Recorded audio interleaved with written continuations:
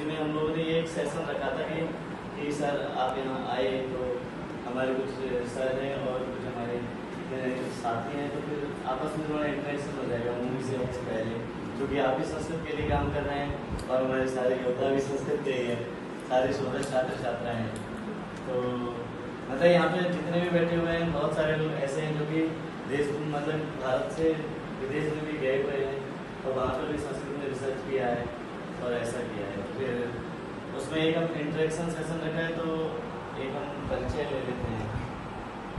संस्कृत जानते हैं संस्कृत को तो उत्थान की कार्य करे इससे बड़ा कोई परिचय नहीं मतलब हमने ये फॉर्मली नहीं रखा है कि एक फॉर्मली है कि वो होगा मंगलाचरण होगा ये होगा वो नहीं। एक इनफॉर्मली रखा था कि अच्छा, आप ब्रह्मास्त्र के निर्माण में दो हज़ार सोलह का नारा था श्री भोजपुरी हिंदुस्तान की सुनी थी भारत तेरे टुकड़े होंगे इंशाअल्लाह इंशाअल्लाह भारत की वो जो था यहाँ हो चुका है उसने प्रेरणा दी कि वक्त आ गया है।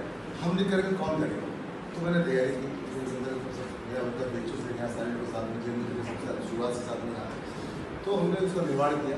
एक ही उद्देश्य है कि अपनी अपनी जड़ों पर लौटे।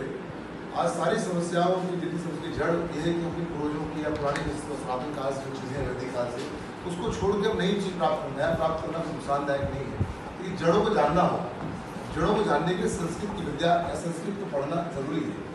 तो तब तक जब जब उसको उत्थान के लिए काम न करें उसकी पुनर् उसकी पुनर्स्थापना के उसके स्थापित करने काम न करें उसको जीवन करने की कोशिश न करें